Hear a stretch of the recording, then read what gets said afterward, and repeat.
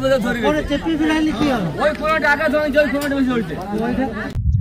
বাংলাদেশের পর এবার পশ্চিমবঙ্গ। পুরে ছাই হয়ে গেল ইস্কনের একটি মন্দির। আপনারা জানেন বাংলাদেশে এই ধরনের ঘটনাগুলো হয়। সেখানে মুসলিম মৌলবাদীরা এই ধরনের ঘটনা ঘটায়। কিন্তু এবার ঘটলো আমাদের পশ্চিমবঙ্গে বীরভূম জেলাতে। কারা ঘটালো? সেটাই এখন প্রশ্ন। নমস্কার আমি মানব দ্য নিউজ বাংলায় আপনাদের স্বাগত জানাচ্ছি। আপনারা জানেন বাংলাদেশে এই ধরনের ঘটনা হয়েই থাকে।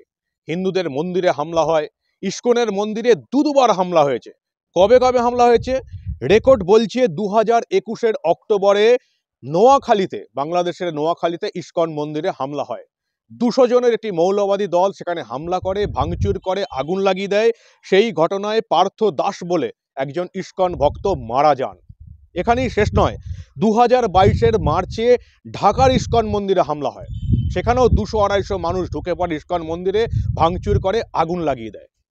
আর এবার কাকতালীয়ভাবে আগুন লেগে গেল বীরভূমের ভীমগড়ের ইস্কন মন্দিরের ভজন কুটিরে। একবার নয়, পরপর দুবার পরপর দুবার আগুন লেগে গেল ইস্কনের, এই যে ভীমগড়, বীরভূমের যে ভীমগড় ইস্কনের মন্দির রয়েছে সেখানে। প্রথমবার আগুন নিভিয়ে ফেলা যায়, কিন্তু গত পরশু যে আগুন লাগে, ভজন কুঠিরে আগুন লাগিয়ে দেওয়া হয়, আগুনে সম্পূর্ণ ভস্মীভূত হয়ে গেছে সেই ভজন কুঠির। দেখুন সেই ছবি ওদের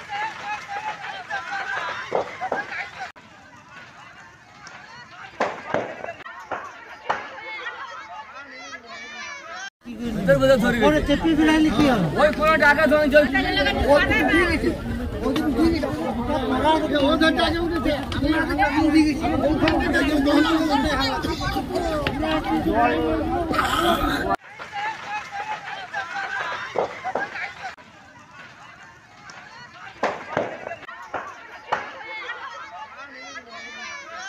ওদের বোঝা ধরে পরে চেপি ফেলাইলে কি হবে ওই কোনটা আগে ধরে একবার নয়, কাকতালীয়ভাবে দু দুবার আগুন লাগানো হয়। বীরভূমের খয়রাসোল খয়রাসোল থানায় এবার ইস্কনের তরফ থেকে কিন্তু লিখিত এফআইআর করা হয়েছে। কারা করেছে? ইস্কন, দুর্গাপুর ইস্কনের তরফ থেকে বলা হচ্ছে যে কিছু অজ্ঞাত পরিচয় দুষ্কৃতী এই ঘটনা ঘটাচ্ছে বারবার। দুবার ইতিমধ্যেই হয়ে গেছে, আবার যাতে এই ঘটনা না ঘটে সেজন্যই থানায় এফআইআর করা হয়েছে। কি বলছেন? দুর্গাপুর ইস্কনের দায়িত্বে থাকা ঔদার্য চন্দ্র দাস, কি বলছেন ঔদার্য দাস? শুনুন আপনারা।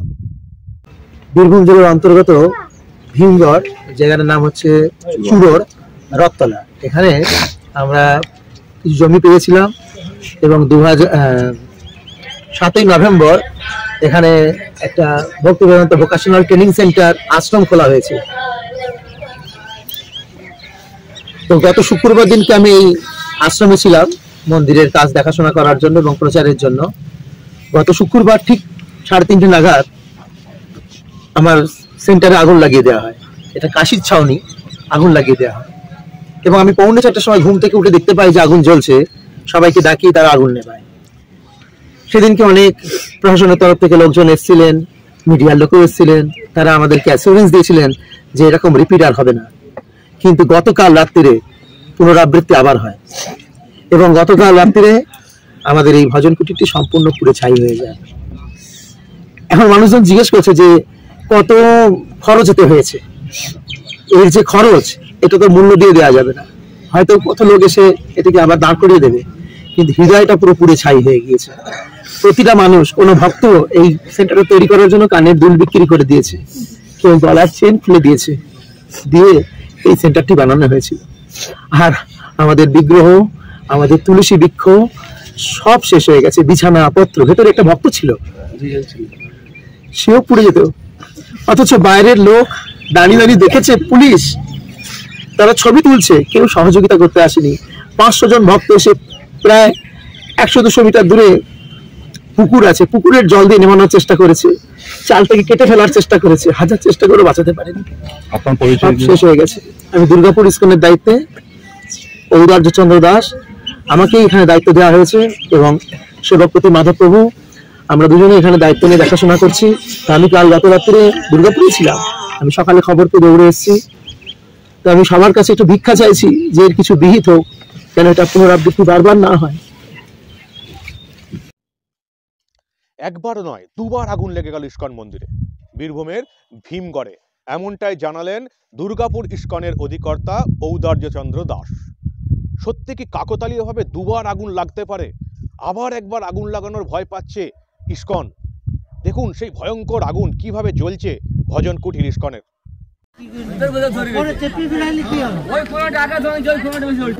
হ্যাঁ কেউ না? ভিতর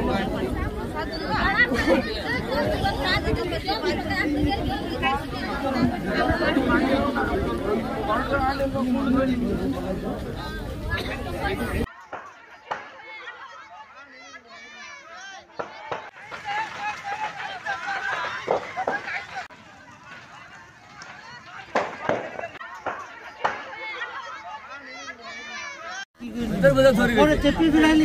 ওই কোনো টাকা এখন প্রশ্ন হচ্ছে এটাই কারা করল? বাংলাদেশে আমার আমরা জানি মুসলিম মৌলবাদীরা এই ধরনের ঘটনা ঘটায়। দুর্গাপুজোর সময় তারা হিন্দুদের মন্দিরে হামলা করেছে ইস্কন মন্দিরে বারবার হামলা করেছে আমরা জানি। শেখ হাসিনা সরকার বারবার বাংলাদেশের হিন্দুদের নিরাপত্তার কথা বললেও বাংলাদেশে এই ধরনের ঘটনা বারবার ঘটে। কিন্তু আমাদের বাংলায় কারা এই ধরনের ঘটনা ঘটাচ্ছে? ইস্কনের তরফ থেকে বলা হচ্ছে কিছু অজ্ঞাত পরিচয় দুষ্কৃতী। আমরা আশা রাখছি আমাদের বীরভূম পুলিশ এই অজ্ঞাত পরিচয় দুষ্কৃতীদের পরিচয় সামনে আসবে। বাংলার মানুষ জানুক এই অজ্ঞাত পরিচয় দুষ্কৃতীদের আড়ালে কারা বারবার বীরভূমের ভীমগড়ে আমাদের বাংলায় ইস্কনের মন্দিরে আগুন লাগাচ্ছে। আমাদের নজর থাকবে এই দিকে এই অজ্ঞাত পরিচয় দুষ্কৃতী কারা? তাদের কি পরিচয়? আপনারা দেখতে থাকুন দ্য নিউজ বাংলা। কোনো ঘটনাই আমরা চেপে রাখতে দেব না।